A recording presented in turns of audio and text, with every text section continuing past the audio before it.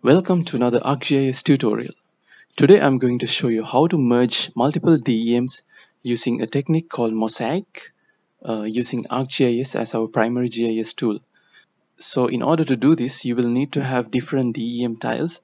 Now, if you would like to download Aster DEM of uh, 30 meters by 30 meters resolution for free, I have created a separate tutorial for that and I recommend you to check that out. And I have downloaded seven different DEM tiles and I'm going to create one seamless DEM raster using these different tiles. So first I'm going to go to my Arc catalog and drag them and drop it over here.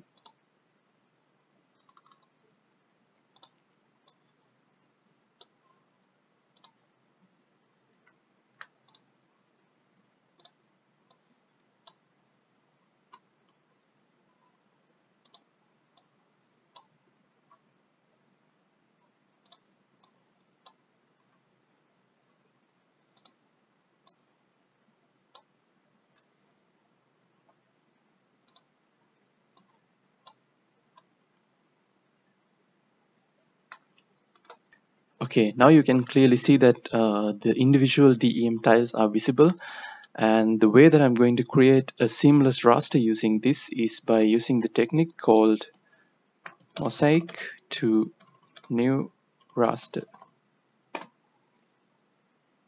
It's one of the options present under the data management tools. So you click on this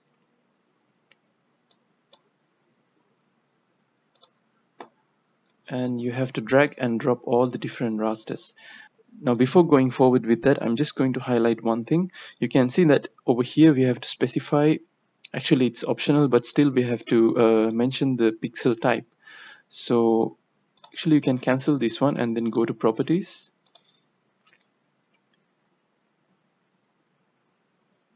And over here you can see the pixel type is a signed integer and the pixel depth is 16 bit. So just keep that in mind. We will go here again and we will sort of drag and drop all the different rasters as the input for this process.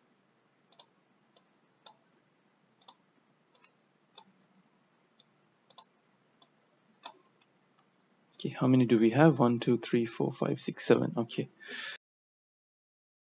Here we have to select the output location. I'm going to select my output location. And the next option is to select the raster dataset name with, with an extension. So I'm going to name this as mosaic DEM and we have to specify the extension as well. Now if you're not if you're not quite sure about these extensions you can actually click here click over here once and then go to show help. And it will show you what are the available possible uh, extensions. So in this case I'm going to go with a TIFF. So it's .tif and the spatial reference for the raster you have to make sure that uh, it's in the same coordinate of your data frame.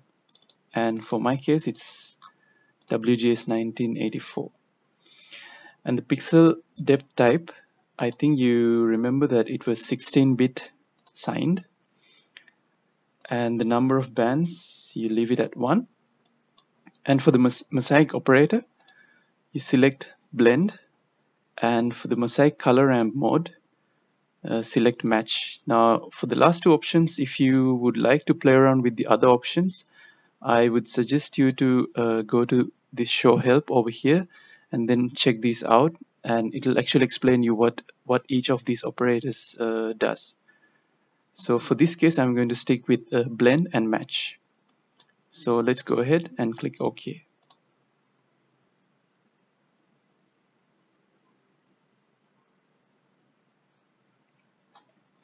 Alright, now you can see that we were able to successfully create the seamless raster, the seamless DEM. I'm going to change the color scheme to be something else maybe this. Yeah so that's about it for this tutorial. I hope you enjoyed and if you have any further questions you can always comment them down below. And please consider subscribing to this channel. You will be able to see interesting gis tutorials uh, almost every day. So thank you and have a good day.